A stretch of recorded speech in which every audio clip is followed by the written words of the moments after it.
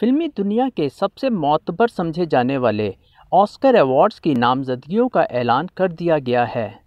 Film के तेईस शोबों की नामजदगियों का ऐलान अमरीकी गुलूकार निक जॉन्स और उनकी अहलिया अदाकारा प्रियंका चोपड़ा ने किया, जबकि खुश नसीबों का फैसला 25 अप्रैल को लॉस एंजल्स में होगा, जहाँ ऑस्कर की रंगारंग तकरीब का अहतमाम किया जाएगा।